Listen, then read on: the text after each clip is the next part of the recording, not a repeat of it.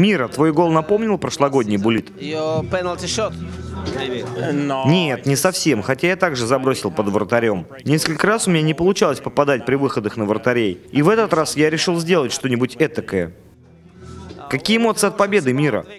Важная игра для нас, мы очень рады. Мы блокировали немало бросков соперника и сами забивали. В этом и есть секрет успеха. Что скажете о своей новой линии? О Семине и Макееве?